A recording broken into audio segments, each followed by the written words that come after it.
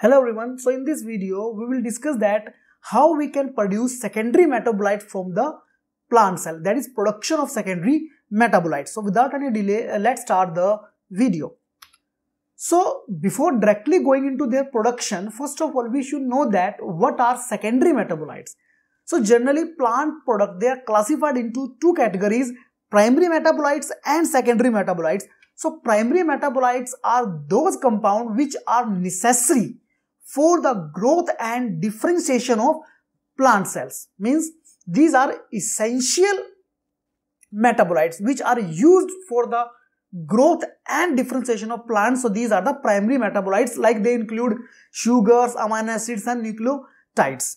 But plant also make a second category of products which are not required or which are not useful for their growth and development but they produce these metabolites in response to certain disease condition or certain stress condition. So you can say these metabolites they act as the plant defense mechanism. So these are the secondary metabolites.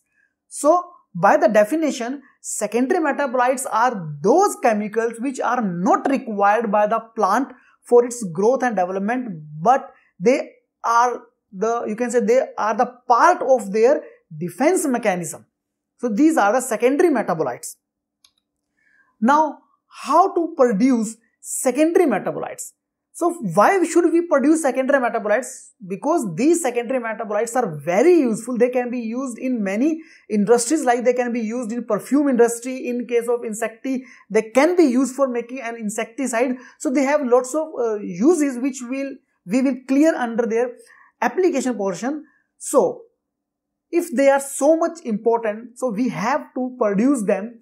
So these are the some steps which are involved in the production of secondary metabolites from the cell.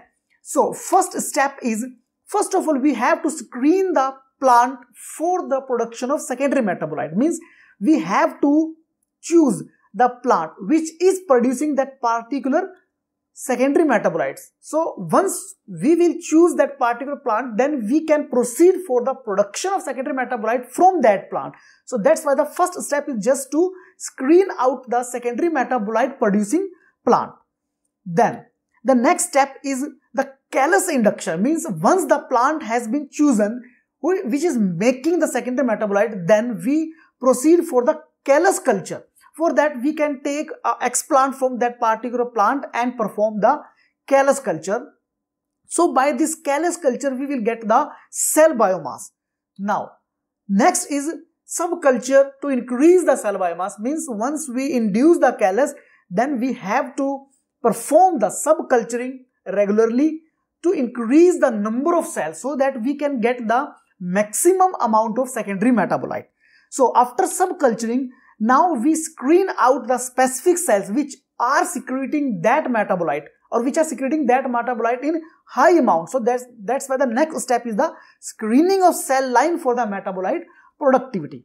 After screening, now these cell lines which are producing that metabolite efficiently, these are now cultured in cell suspension culture in the large bioreactor.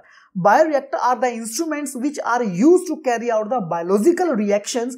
Here we are carry out the reaction for the production of secondary metabolites. So this step involve the cell suspension culture of already screened cell lines as we screened in the last step. So screened cell lines are now under the cell suspension culture in bioreactors and in the bioreactor these screened cell lines, they will produce secondary metabolite.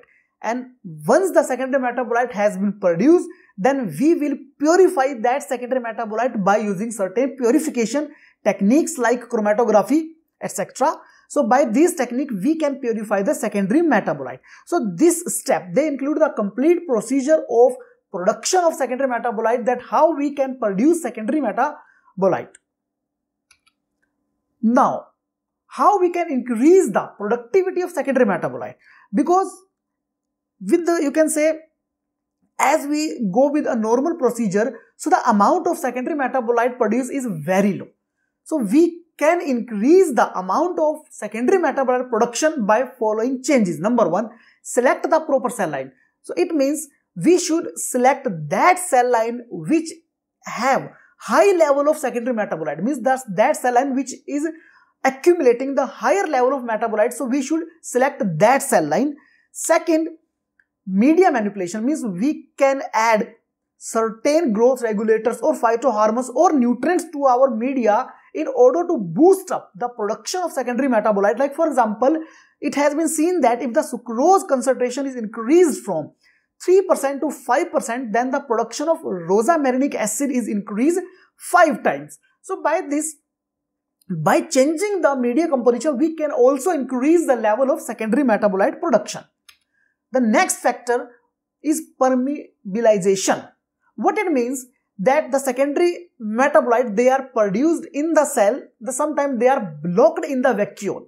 So by changing the permeability of cell membrane, we can elute these secondary metabolite to the media. So generally the permeabilization it can be achieved by electric shock, ultraviolet light, pressure, sonication and heat. So by giving these treatment, we can fluctuate or change the permeability of cell wall so that the secondary metabolite, it comes out of cell into the medium.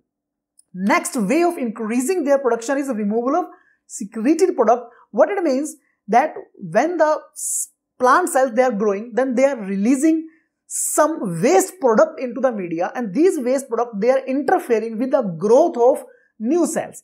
So in order to increase the production we have to remove these secreted products so that these secreted products they should not interfere with the growth of cells and secondly they should not cause any or they should not you can say they should not proceed any kind of feedback inhibition. So in order to eliminate the feedback inhibition and in order to increase the growth of cells, we have to remove these secreted product from the media.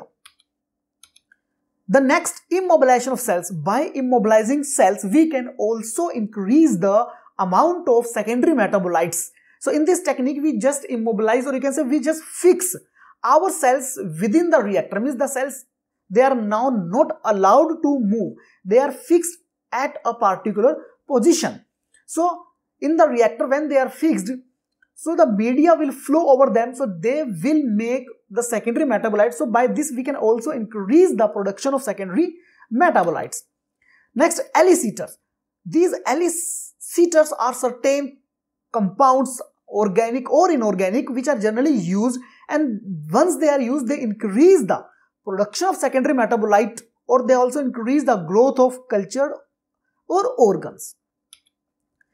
Now, what are the advantages of these secondary metabolites? Means why we are producing these secondary metabolites? So these are the very important source of many industrially important compounds like colors insecticides antimicrobial fragrances therapeutic. Means these secondary metabolites they can be used in many industries. They are very useful and in case of uh, human health care they also produce some therapeutic protein or some pharmaceutical product they may also be important in healthcare, food and flavoring agent in cosmetic industries. So these are the certain advantages of these secondary metabolites that why we are producing them.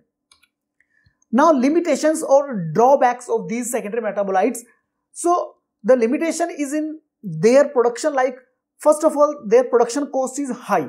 Means the process by which we are taking secondary metabolite is very costly. Next we do not have a complete knowledge about the biosynthetic pathway of many of these secondary metabolites. Means we are lack of knowledge.